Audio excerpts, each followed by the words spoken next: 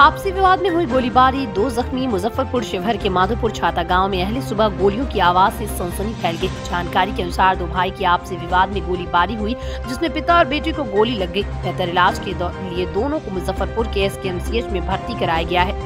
गोली लगा है की ज़मीन दूरा पर जो रोड शादी था न तो रोड से ज़मीन थोड़ा सा नीच पड़ता है दूरा का।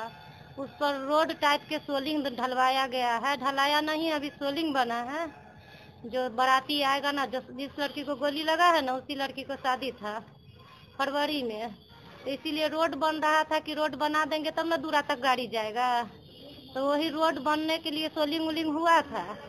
तो रात में गाली दिए, वो भी अपना ही जेठ है। सबसे जेठ भाई वही है, चार भाई हैं हम लोग।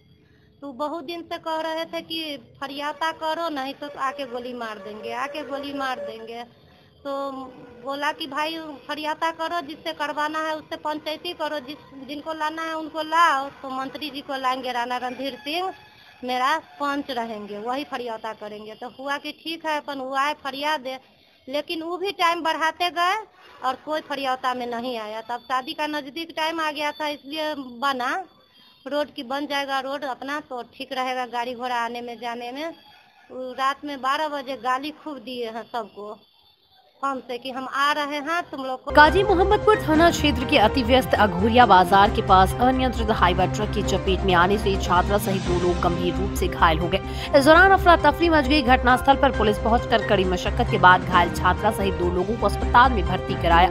बताया जा रहा है की बालू लदी हाईवा ट्रक अनियंत्रित होकर एक दुकान में जा घुसी, जिसके बाद मौके आरोप अफरा तफरी मच गई हाईवा की चपेट में आने से एक छात्रा गंभीर रूप से जख्मी हो गई, जबकि उसको बचाने गए एक अन्य व्यक्ति भी इसकी चपेट में आने से जख्मी हो गया। घटना दोनों घायलों को इलाज के लिए अस्पताल में भर्ती कराया गया है। आज एक हाईवा गाड़ी बल्लूर जा रही थी। बगल में एक बच्ची साइड हुई। साइड के बाद हाईवा का जो बगल में सती रोड का जो स्लैब था वो फट गया। उसका चक्कर नीचे चला गया। उससे बच्ची का पैर पूरा दब गया था उसमें। वो इसको निकाल के इलाज के लिए भेजा गया। परिस्थिति यहाँ पर सब कुछ ठीक है? हाँ सामान्य सामान्य हटाया जा रहा है और एक हाईवा के निकालने के क्रम में भी एक घटना होती है। हाँ जैसी भी से निकालने के क्रम में हल्का हल्का चोट या कुछ पैर पर लगा है एक व्यक्ति को लग गया है।